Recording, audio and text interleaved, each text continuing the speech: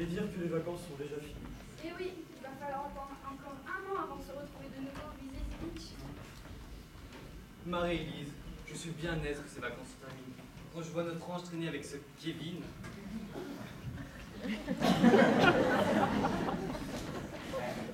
Elle est pas mignonne, elle a piqué la plus choquée Lina. Bon, elle est un peu cossée, mais ça sera bien de se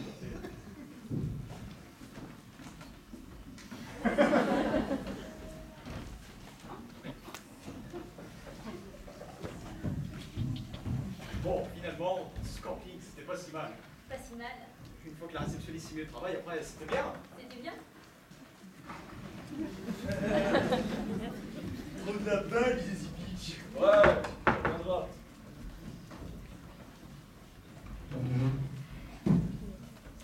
Par contre, la vieille, elle est toujours là. Elle est toujours autant chelou. Mais qu'est-ce qu'elle fait avec toutes ces tongs Mais c'est mes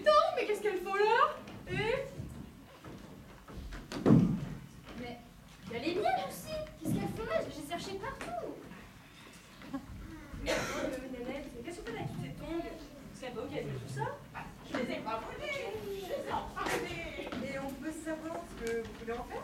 Bah, je me disais que, comme c'est le dernier jour des vacances, on pourrait faire une grande fête.